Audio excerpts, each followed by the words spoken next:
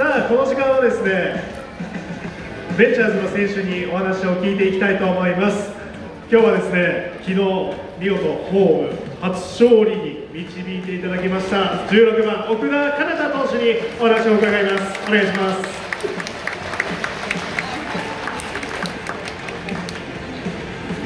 まあ、昨日、ホーム初勝利、改めて昨日のピッチング、一度振り返っていただいていいですか？はい、えーと、守備にも助けられた部分があったんですけど、このスタンドに来てくださるファンの方々の声援や拍手であったりとかっていうのが、とても力になって、8回を投げ切ることができまし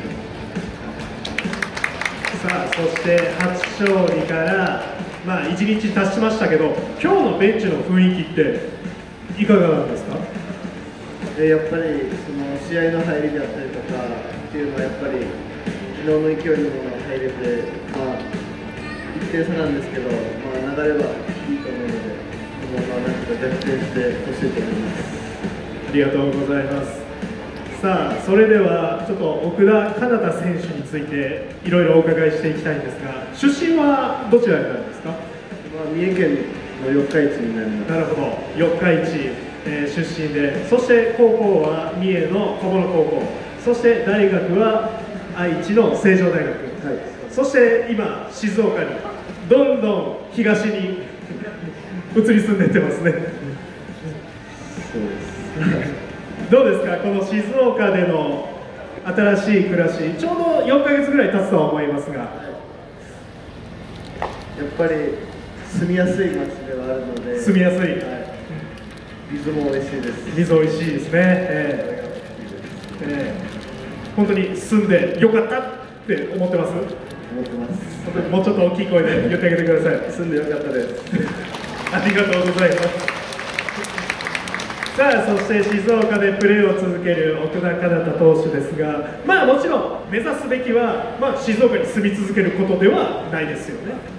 そうですね。その秋のドラフトで選ばれるっていうことが一番の目標なので、うん、そこに向かって頑張っていきたいと思います。ありがとうございます。もしかしたら今日来ていただいているカープファンの前でももしかしたら投げることがあるかもしれません。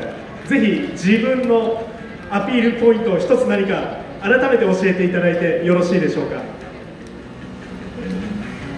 えー、まあ自分の持ち味はその制球力なのでその見ていただけるファンの方々がその楽しいって思えるような投球をしたいと思うのでよろしくお願いします。ありがとうございます。次回の登板にもぜひ期待をしています。さあそれでは1点を追いかけるチームの状況でございます。最後にチームメイトにそれから今日観戦に来てくださっているベンチャーズのファンの皆様に最後一言お願いいたします。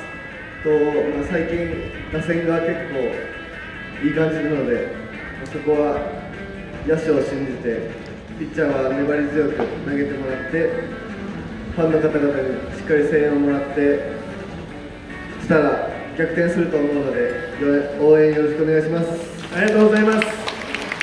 この時間は背番号16番奥田かなた投手にお話を伺いました。ありがとうございました。